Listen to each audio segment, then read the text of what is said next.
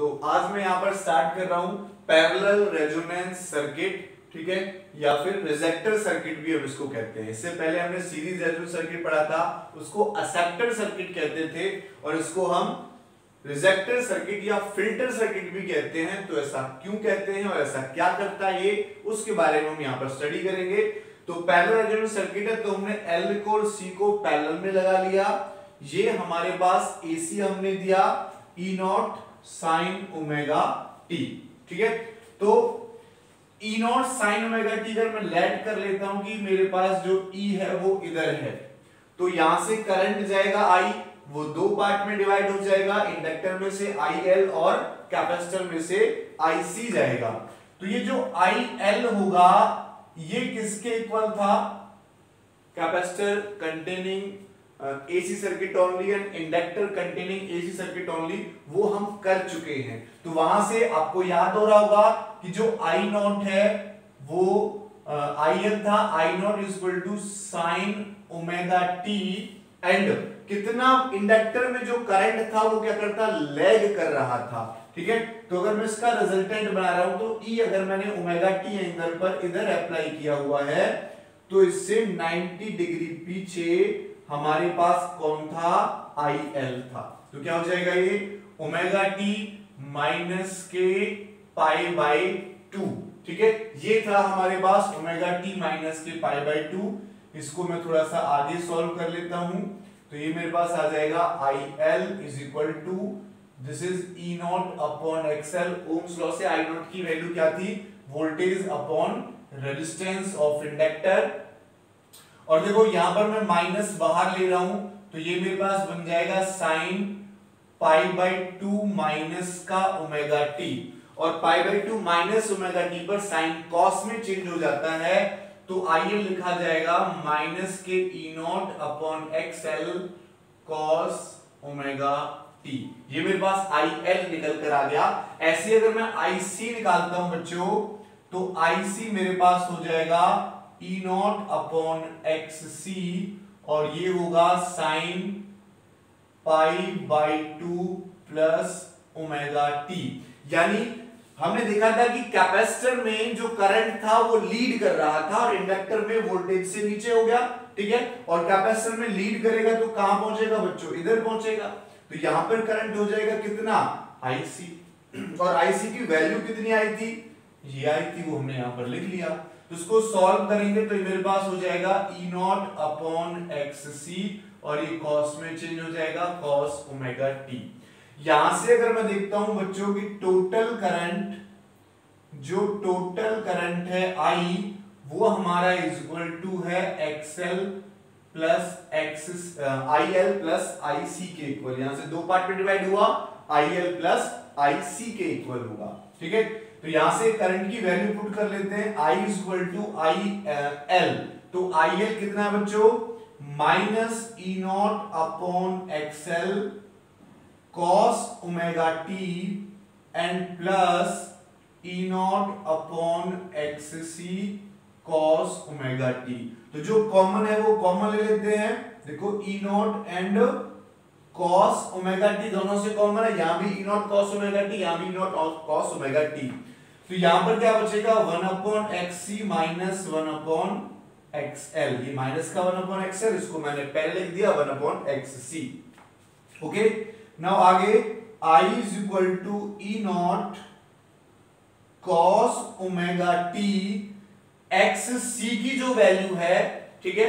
X C की value वो क्या थी? वन अपॉन ओमेगा सी तो वहाँ से अगर वन अपॉन एक्स की वैल्यू निकालेंगे तो ये हो जाएगा ओमेगा सी और ये हो जाएगा वन अपॉन एक्सएल की वैल्यू ओमेगा एल तो ये मेरे पास रिजल्टेंट करंट आ गया इस सर्किट में। अब मैं बात करता हूँ कि ये जो करंट है वो ज़ीरो कब होगा? I will be zero zero कब होगा बच्चों? When omega C is equal to one upon omega हो जाए, ठीक है? तो यहाँ पर हम लिख सकते हैं कि when omega C is equal to omega C is equal to one upon omega L हो जाए। मैं कह सकता हूँ ओमेगा इज़ इक्वल टू आ जाएगा बच्चों यहाँ से सॉल्व करके। वही one upon root L C ठीक है? और अगर मैं फ्रीक्वेंसी निकालूँगा तो वही आ जाएगा two pi root L upon C जो सीरीज़ कॉम्बिनेशन में आया था।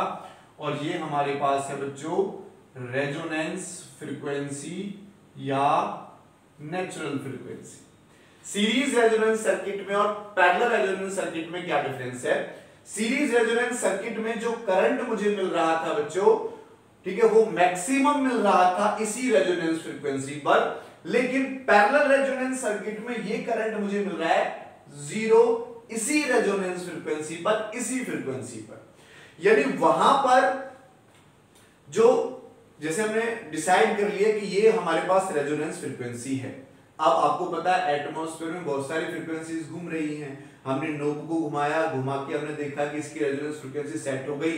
अब जो एटमॉस्फेयर में जो भी उसकी फ्रिक्वेंसी होगी, वो मैच हो जाएगी और रेजोनेंस होगा।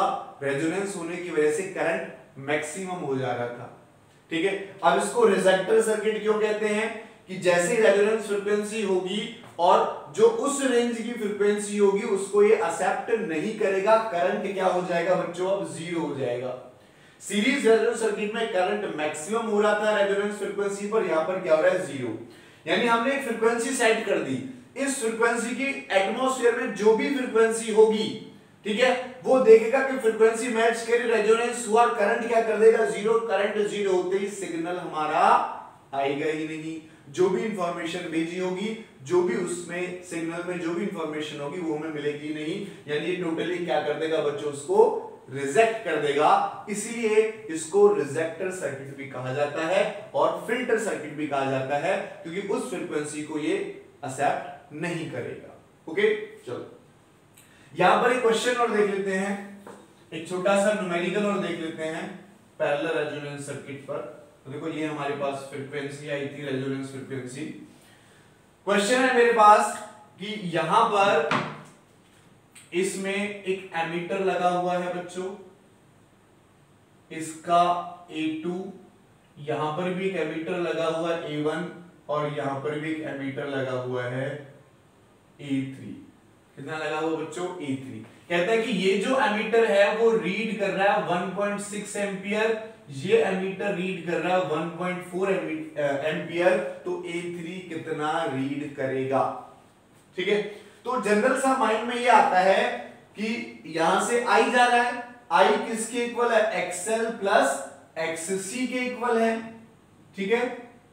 Sorry I L plus I C के इक्वल है। तो दोनों क्या हो जाएँगे? ऐड कहेंगे zero point four plus one point six यानी टू एम्पियर आ जाएगा। लेकिन नहीं। देखो बच्चों, अभी हमने देखा था, अगर वोल्टेज इधर है तो ये दोनों करंट एक दूसरे के अपोजिट डायरेक्शन में है।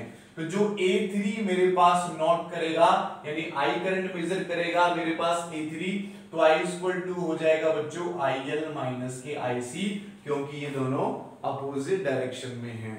तो ये जो एमीटर करंट मेजर करेगा, वो मेजर करेगा बच्चों एल यानी 1.6 माइनस का 0.4 यानी 1.2 एम्पियर नोट करेगा। तो इस सर्किट में ये ध्यान रखना ज़रूरी है क्योंकि फ़ेज़ क्या होते हैं, इनके अपोजिट डायरेक्शन में।